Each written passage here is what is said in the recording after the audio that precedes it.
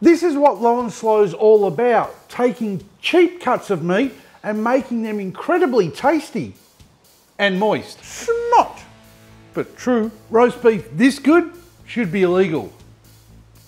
Mm. I'm Schuey and in this video I'm going to show you how to smoke oyster blade roast. It is one cheap cut of meat, but done right it is one tasty piece of beef. So just sit back, grab a drink or two and let's get into it. As always, I dropped in to see my local butcher, Mick, and I said, hey mate, hang on, I'm not here for cuddles today. I need a tasty, cheap cut of beef. Oyster blade is what he suggested, and I walked out with this 1.5 kilo, soon to be tasty piece of beef. No prep needed, Mick trimmed off all the outer silver skin for me. Now, I did ask him to leave some of the fat on it to help protect that during the cook. Trimming off the fat or leaving some on is a personal preference. Tell you what, you do you and I'll do me.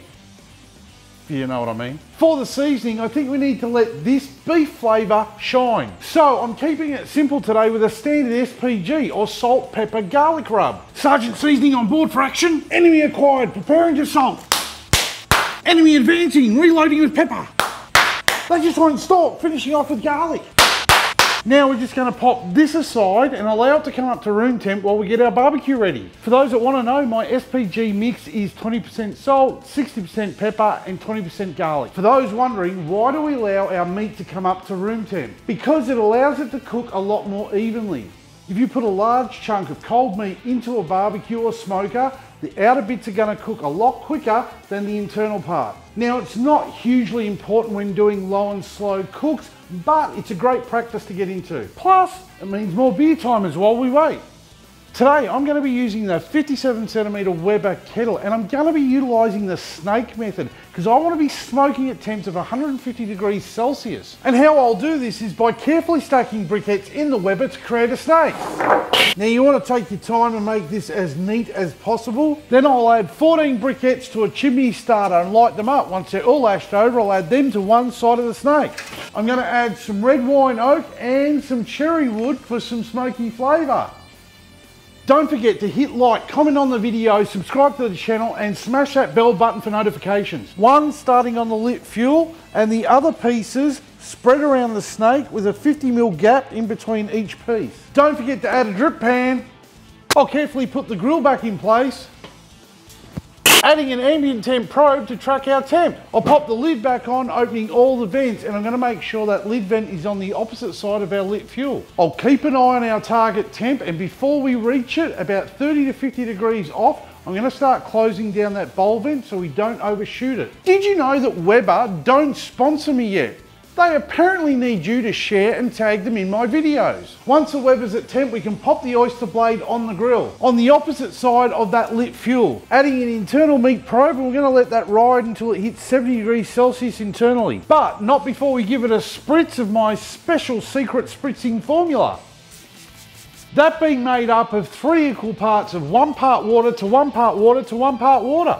Pop the lid back on and we're gonna leave that alone. Did you know moist meat attracts more smoke? Smut! Today I'm cooking with a medium to high indirect heat of 150 degrees Celsius. And all up, this cook's gonna take around five and a half hours to be ready for a rest in an esky. Or for those of you who like to follow my beer timer, you're looking at an 11 beer cook.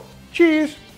Now, if you include the rest time while we hold the meat in an esky, you can include four more beers. We are three hours into the cook and the slab of meat, or as we've got to know it, the oyster blade roast, has finally hit an internal temp of 70 degrees Celsius. So we can pull it out and put it on two pieces of foil. We're just gonna curve up the ends and we're gonna add a good splash of warmed up beef stock.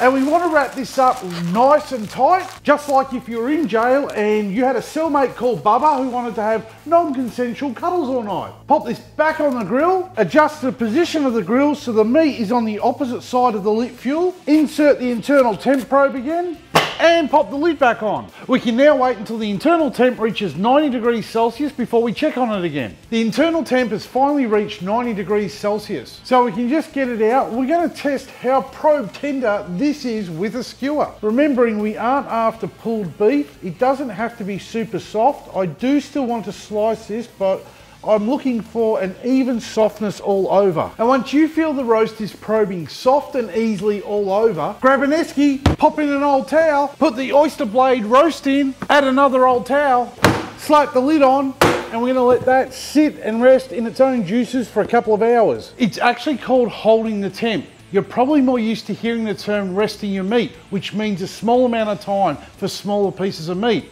Holding the temp is for bigger pieces for a longer time. The time has come to unwrap the meaty goodness from its tomb of towels and foil. Look at that great color.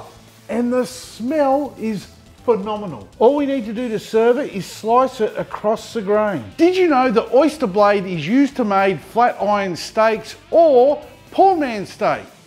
You do now. If the sight of that doesn't get you salivating, nothing will.